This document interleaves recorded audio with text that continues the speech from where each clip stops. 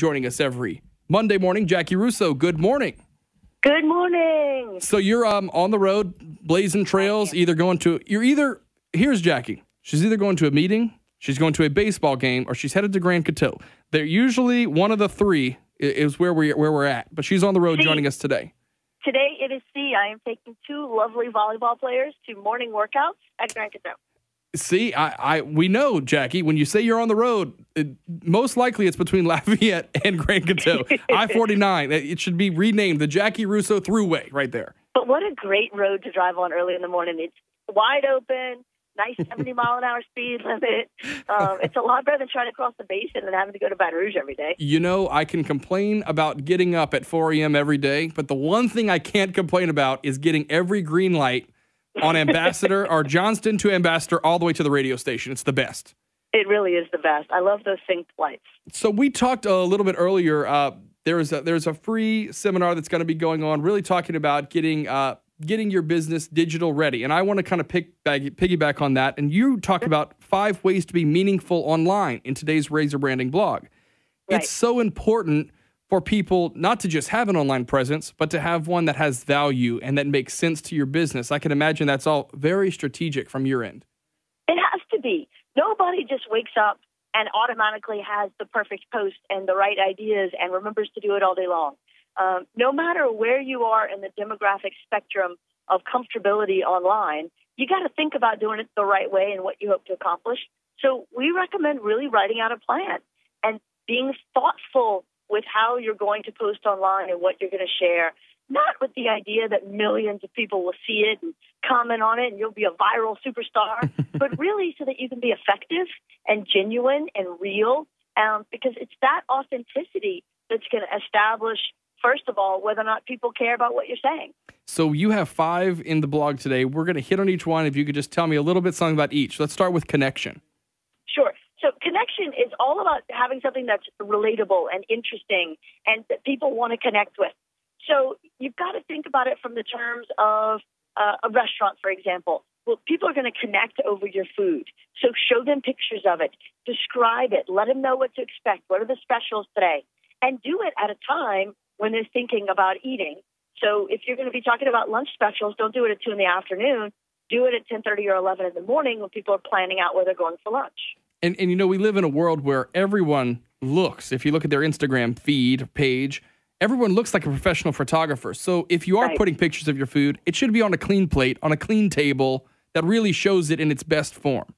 Absolutely. I can't emphasize that enough. If you are um, working somewhere and you're not really taking the time to carefully light and stage your photos, then they're going to look bad, especially by comparison to everyone else. Now, it, you have the gift of a great phone in your pocket with an incredible camera. And Yes. so use those features. It gives you cool filters. It gives you neat things you can type on it. You can do all kinds of awesome things with your photos to look professional quality without actually having to be a professional. Let's move on to originality. You don't want to just copy and paste what somebody else is saying. You don't want to mimic what other people are doing.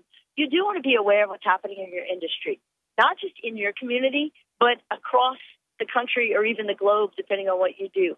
Be aware of the competition because they may inspire ideas in you, but don't just do exactly what they're doing. Be original and provide something that no one else has seen or done so that it's really unique to you.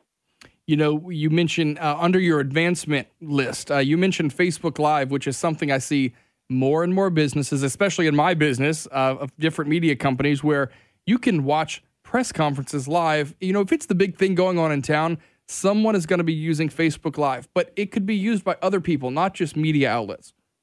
It can be really used by anybody. Um, if you are a retailer and you're unpacking a new shipment of merchandise that you just received, you can use Facebook Live to broadcast that and really build up some anticipation as you're putting out new things on the floor for display. If you are a restaurant, you could do a wine tasting, and you could do it for Facebook Live and have people talking about the tannins and the oaky flavor. Um, you know, you can do anything through Yeah. Facebook Live. And so it really becomes a great, unique way to share what you're doing with the community right then and there and build up some anticipation. And so I need to go to there. I need to be at that. You know, I have a friend who owns a small boutique in the New Orleans area, and you know, you used to want to get all this, you get all these new clothes, you have the spring season, what have you.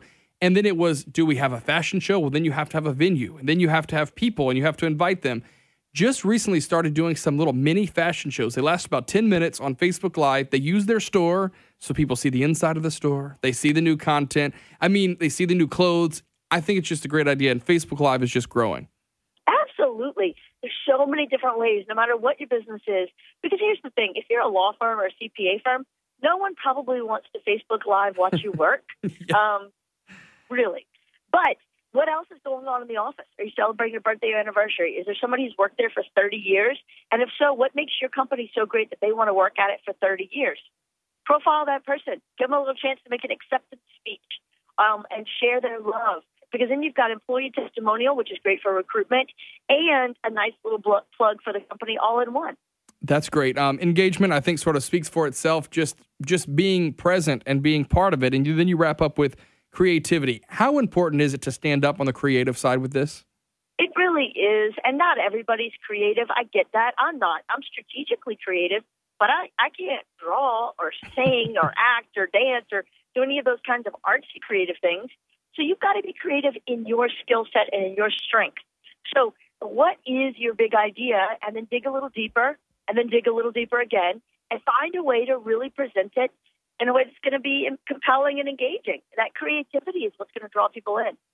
Five ways to be more meaningful online. It's today's blog post, and you can find it at brandrusso.com. We'll also cross post it on our website, kpel965.com. Thank you uh, from the road, Jaci Russo, for joining us. Appreciate it. Thanks, Rob. Hey, have a great, pass along our good wishes for a great workout because Lord knows I'm uh, not getting it done today.